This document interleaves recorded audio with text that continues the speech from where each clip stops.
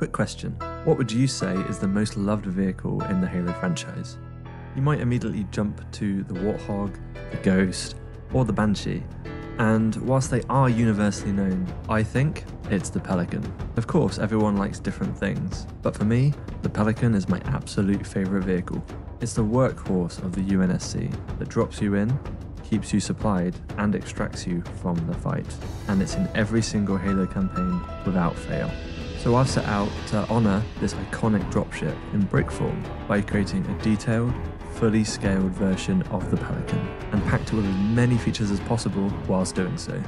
Now this thing is big, so we've got a lot to cover. So get comfy and let's dive in. So like all the UNSC vehicles in Halo, Bungie looked at what the military used in the current day and extrapolated that out into the future.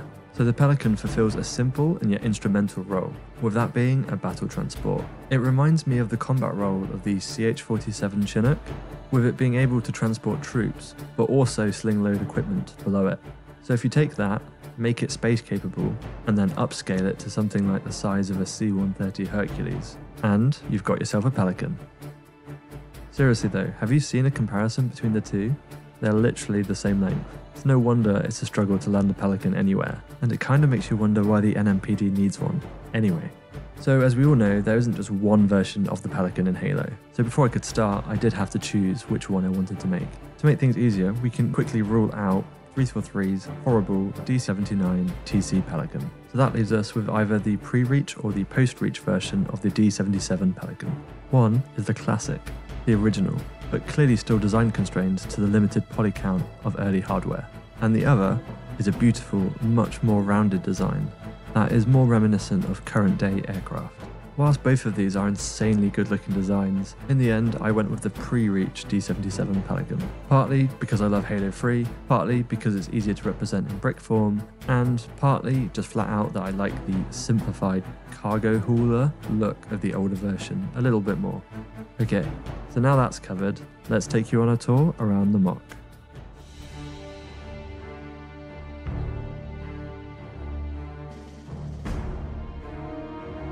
So it's no secret that the Pelican is a massive vehicle, which obviously means that this is a big, big build. This isn't the first version of the Pelican that I've made, but it's still a bit of a surprise whenever you just see how big it is in person. There's a whole host of details and features to cover in this behemoth of a vehicle.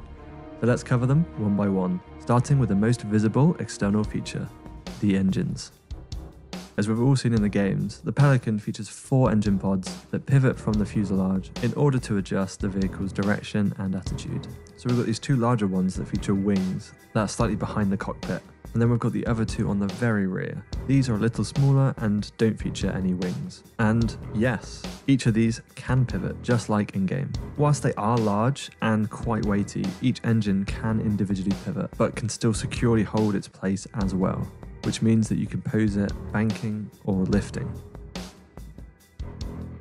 These mechanisms aren't that complicated. I've just used a stock ratcheting pivoting mechanism that Mega has been using all along in their Pelicans. The rear engines worked perfectly as is, but the front engines did have to have a little bit extra design work done to redistribute the weight to prevent the excessive leverage from pulling them down.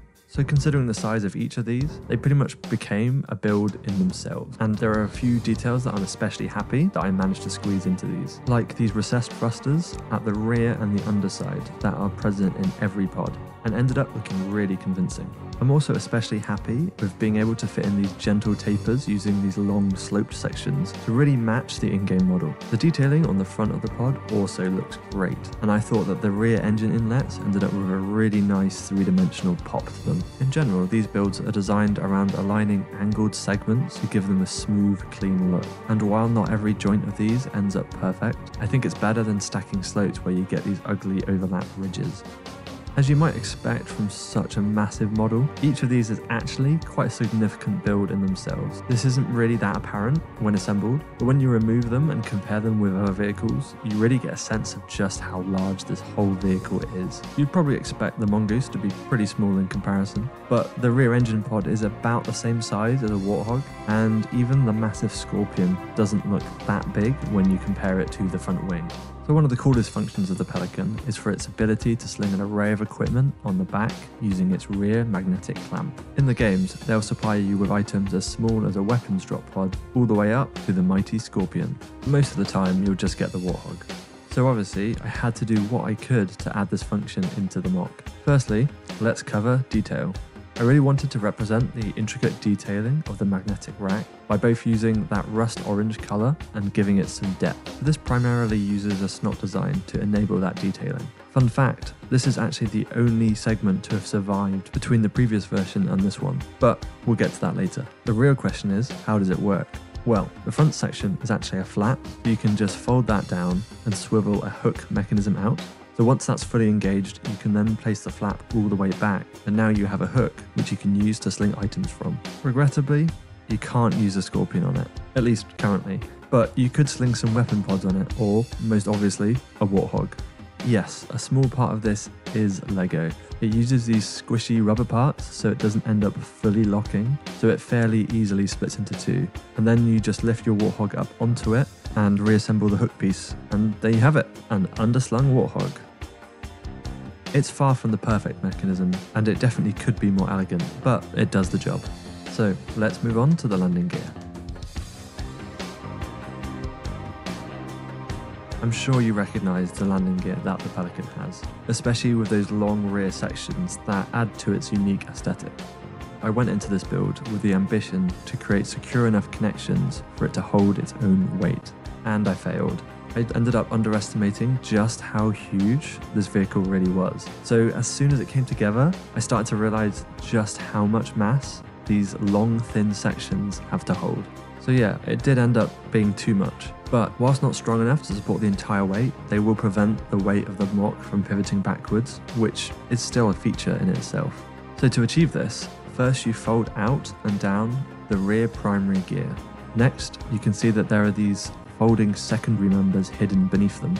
These fold down and engage into these slots, and now you have your rear gear folded down. So when you look at the front landing gear, these use LEGO shock absorber technique pieces to enable them to easily fold down from just applying pressure with your fingers. I couldn't quite manage to fit in enough space to cover them with undercarriage flaps, just like the in-game model, but I'll cover that when we look at the underside later. So with all that deployed, we can remove this rear stand and the whole build will stand by itself. It could be more secure, but in fairness it is relatively sturdy and it just makes it look so good giving you that really nice unimpeded view of the rear of the build. So now that the gear's down, we can now have a look at the rear access ramp. This is definitely another unique feature of the Pelican, where it's split into two, so there's an upper section that has a protruding window and a lower ramp section.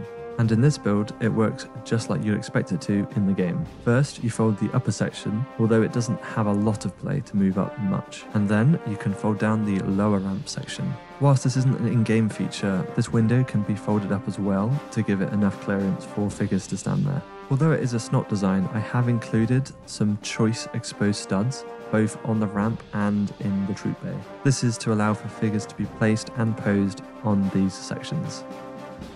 The troop bay is fully detailed as well, but to cover it properly, we first need to do a bit of light disassembly first. So before that, I want to cover the fuselage. This must have been by far the most tough and challenging segment of the build. Not only is this the segment that has to conjoin to all the other features, but it also has a very unique shape that is important to emulate to really get the look of the build just right. The first important part I identified was to build a hexagonal troop bay. Both the interior of the troop bay and the rear underside are not going to look right if the entire design is not built with a hexagonal structure in mind.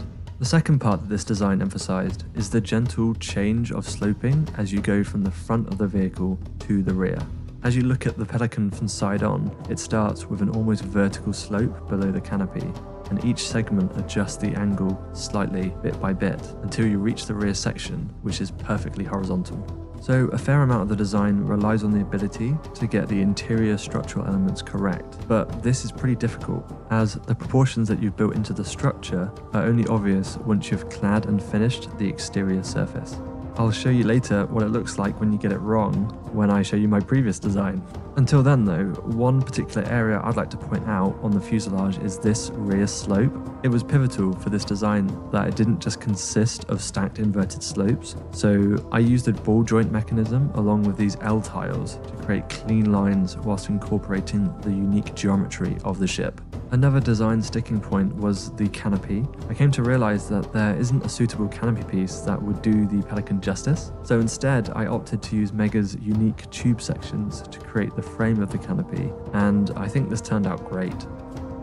So as you'd expect for such a large segment, it's bristling with small points of detail, such as all of the inlets at the side, front and top. There's also a bunch of detailing on the front shaping and behind the engines are just to name a few. Alright then, to have a look at some of the inside detailing, we're going to have to start lightly deconstructing some of the MOC. So as this is such a large vehicle, the upper cladding isn't as much attached as it's just slotted on. If you manage to tilt this thing upside down, then you probably have a little more to worry about than just a few sections coming off.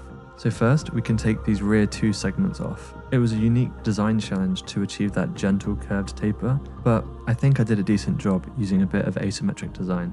Next, you can unclip the central protruding segment that overhangs the front segment. Then, if you unclip the bars that make up the front canopy and remove these wing pieces on either side, then you can just raise the front top segment away. And now, we've got access to the interior.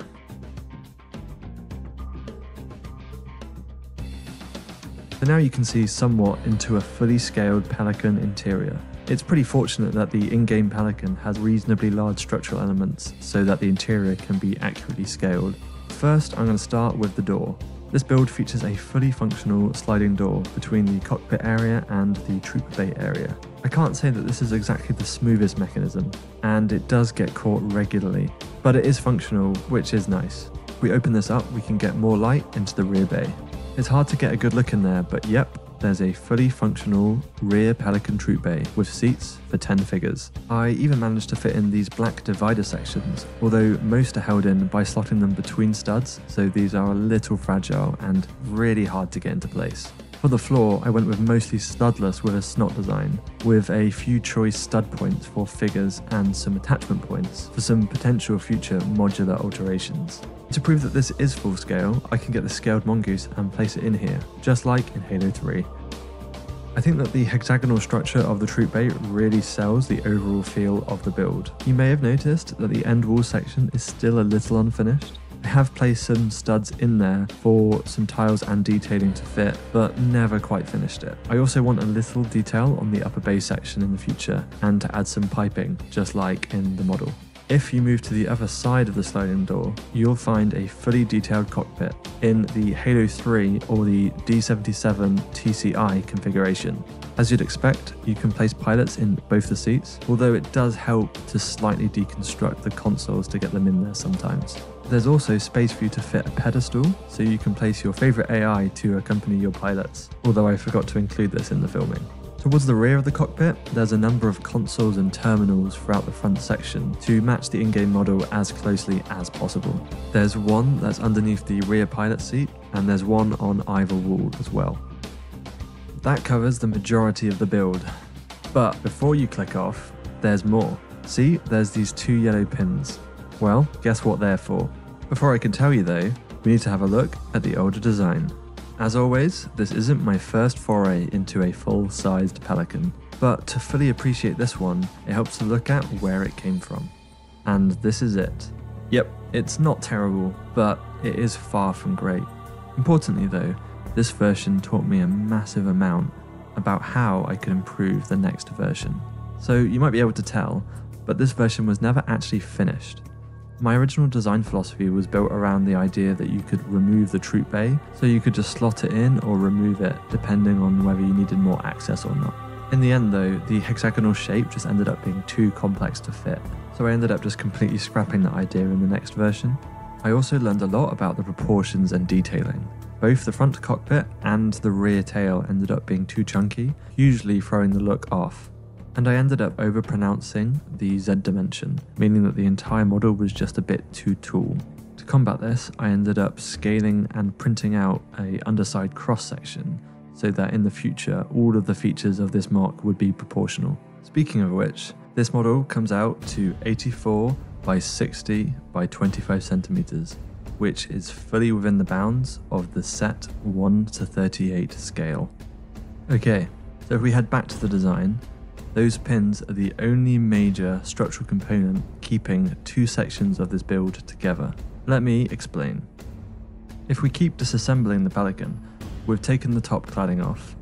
So now let's remove the engine pods. As I do this, you should be able to see a bit more detailing that is usually hidden underneath these. I'm especially proud of this rear taper and these rounded black sections that hold the rear engine pods. So if we continue, we remove these front engine inlets here that are held in with a couple of pins. Once these are removed, we can now finally remove these two yellow pins and just slide the entire top section back. Once you slide it so far back, you can now just lift it and there you have it. The Pelican has been split into two. This makes it far more convenient when you're working on it or for storage. You can probably see a bit more of the construction methods used and I can more easily show you the underside. No good MOC is complete without a detailed underside and this build is no exception. The belly of the Pelican actually has a relatively complex underside with it undulating a fair bit from the front to the back. This part took a fair amount of effort to properly represent, but I think it ended up alright. Regrettably, the front landing gear just ended up being too bulky to be able to fully fold it away, although I do think that the current solution is mostly workable. This area has been slightly neglected though, and it could do with just a bit more finishing. The actual gear mechanism was inspired by a LEGO MOC maker, whose page I'll link down below in the description. If we move to the rear underside, you'll be able to see a lot more detailing that's usually covered in shadow.